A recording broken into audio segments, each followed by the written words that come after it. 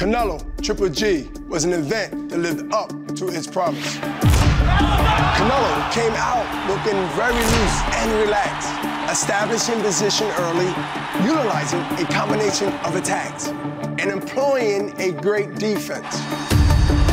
When Triple G tried to swing, Canelo put the matrix on him and answered with solid counters. Even when Triple G did land a power shot, Canelo took it well and kept his poise.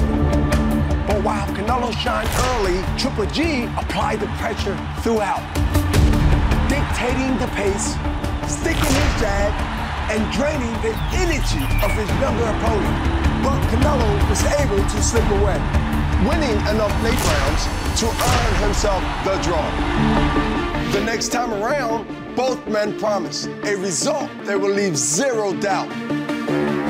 For Canelo, it all begins with conditioning.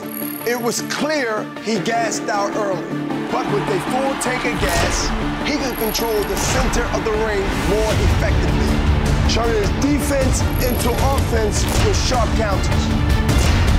Last year, I said Canelo would be crazy to fight Triple G off the ropes. And I was right. Perception matters in boxing, with the judges and the. So Canelo needs to fight all three minutes of every round. Because Triple G will bring the pressure again. But for Gennady, the real challenge is this. He needs to become unpredictable.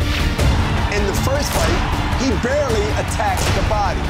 Triple G needs to target Canelo's ribcage early to seal his fate in the late rounds and he has to do a better job cutting off the ring. Canelo was able to slip out the back door and buy himself time to recover. Like I said, the fight delivered what it promised.